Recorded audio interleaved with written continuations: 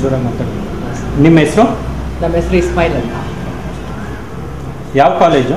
Sir Vijayanagara first grade ಕಾಲೇಜಲ್ಲಿ ಏನು ಓದ್ತಾ ಇದ್ದೀರಾ?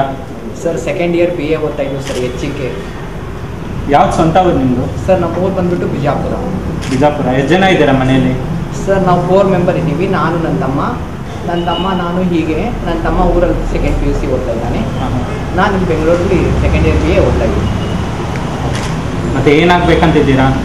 ಸರ್ ಹೈಸ್ಕೂಲ್ ಟೀಚರ್ ಆಗಿದ್ದಾರೆ. ಏನಕ್ಕೆ ಟೀಚರು? ಸರ್ ಟೀಚರು ಇದು ಸರ್ ನಾವು ಪಾಠ ಕಲಿತು ಬೇರೆಯವ್ರಿಗೂ ಪಾಠ ಮಾಡಿ ಈಗ ನಾವು ಎಷ್ಟು ಕಷ್ಟಪಟ್ಟು ಮುಂದೆ ಬಂದಿದ್ದೀವಿ ಅವ್ರಿಗೂ ಆ ರೀತಿ ಮುಂದೆ ಬರ ಬರೆಸ್ಬೇಕಂತ ಆಸೆ ಸರ್. ಹಾಗಾಗಿ ಹೈಸ್ಕೂಲ್ ಟೀಚರ್ ಆಗಿದೆ ಮತ್ತೆ ಟು ಲೋನ್ ಹೆಂಗೆ ನಿಮ್ಗೆ ಹೆಲ್ಪ್ ಆಗಿದೆ? ಸರ್ ತುಂಬ ಹೆಲ್ಪ್ ಆಗಿದೆ.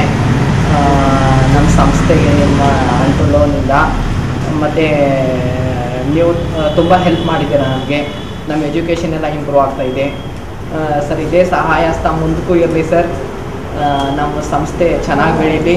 ನೀವು ಒಳ್ಳೆ ರೀತಿಯಿಂದ ನಮಗೊಂದು ಹೆಲ್ಪ್ ಮಾಡಿದ್ದೀರಾ.